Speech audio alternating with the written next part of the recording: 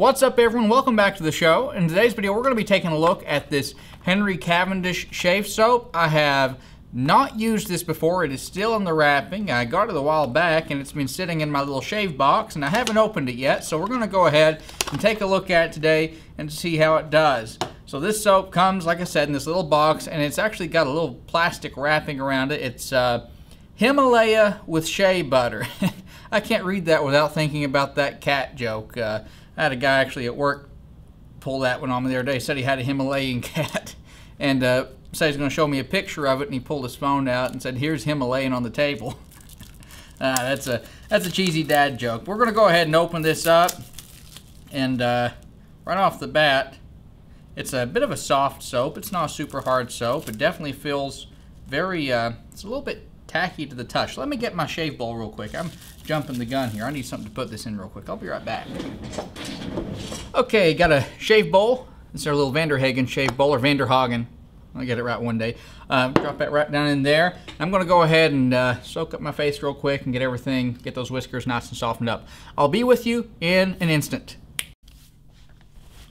Okay, and we're good to go. Whiskers should be sufficiently soaked now. Um, that little Himalayan joke I just mentioned earlier, that kind of reminds me of uh, reminds me of a joke I heard a while back. It's every time you every time you uh, go to the bathroom, every time you go to the bathroom, you change nationality three times. First you're a Russian, then you're a P, and then you're Finnish. But uh, that's cheesy as hell. We got the brush soaked up already. Got a little bit of water on the puck here. And let's see what kind of lather this sucker builds up. Let's load the puck. Where this is a, or load the brush, where this is a new puck, it might take a minute here for it to load up. We'll see here. We'll get it nice and lathered up. Feels like a real slick, ooh. That's a, this is a really nice little lather it feels like so far. Oh, it's very slick.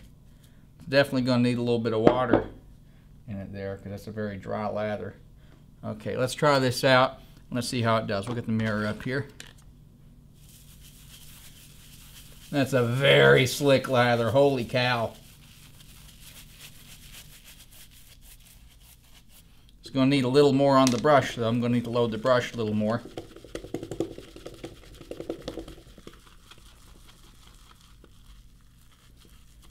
Okay, now let's give it a try here, dip it in some water.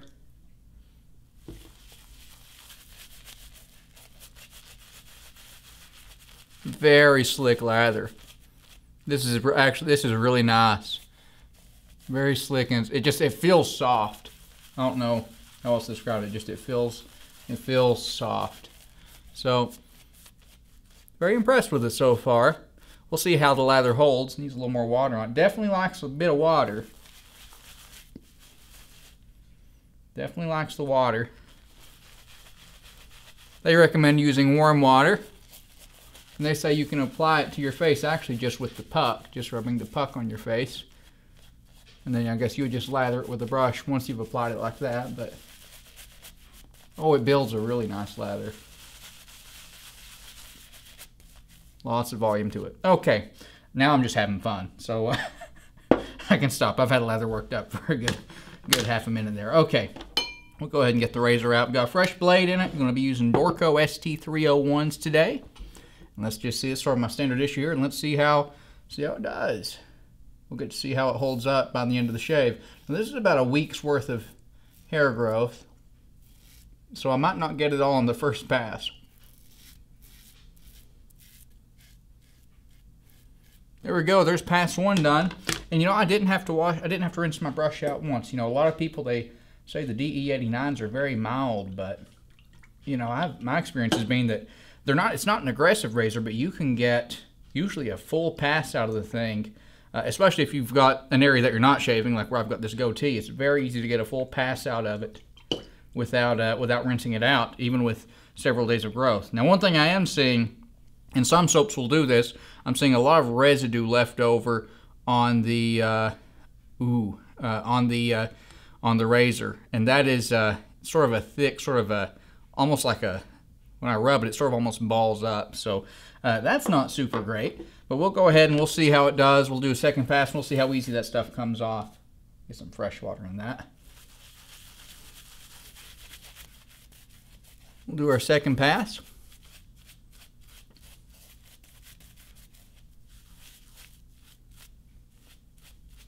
Okay, and this one's a little bit thinner lather on it.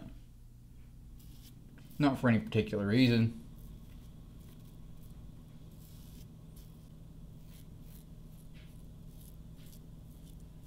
And this lather has, it has excellent slickness. It's very slick. People talk about cushion and slickness, and truth be told, there's only one thing that matters, and that's going to be your slickness. The cushion really isn't. It's not really that important. I think of the lather as being more of it just creates little pockets of air to keep it from drying out. And it definitely, it doesn't dry out. Definitely has some staying power there.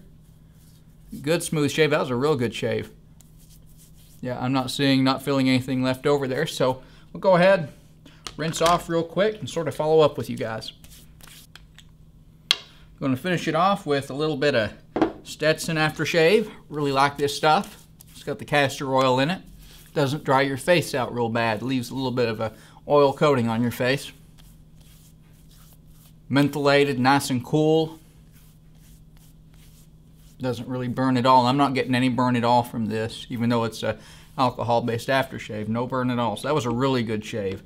That was a really good shave. Um, only thing I can see uh, that I really don't like about it is it, it leaves it leaves this residue on the razor. It's a white film that is sort of thick and grimy. Uh, but besides that, if you don't mind cleaning your razor off when you're done, just sort of wiping it off with a towel, yeah, it comes right off. Uh, if you don't mind doing that and cleaning your razor regularly, it's it's actually that's a really nice soap. They say it's scented. I don't really smell anything with it. Um, it's got a scent, but it's very faint. I can, I can barely I can barely smell it. But uh, you know, for some of you guys out there with sensitive skin, that's probably a good thing. A lot of scented products cause skin irritation for people with sensitive skin, but that was a really darn good shave. Good. Uh, it sticks. It stuck around well. It stayed slick. Didn't dry out. Um, lathered up really nice. Takes a lot of water. Uh, you know, usually a good soap, the sign of a good soap is it takes a pretty good bit of water to get a good lather working up on it, and that does it. It's that water that water that keeps your whisker soft. Um, really good. I was very very impressed with it. Actually, did a lot better than uh, than I was than I was expecting. But anyway, guys, I hope you enjoyed it. If you did, I would really appreciate it if you'd leave the video a like down below. You know, I bring these videos to you guys because I really enjoy wet shaving. And if you want to see more videos like this and support the cause, you can subscribe, leave it a like, leave me a comment down below if you want to see more videos like this from me. And if you have any suggestions for reviews or anything like that. And I'll see you in the next one. Later.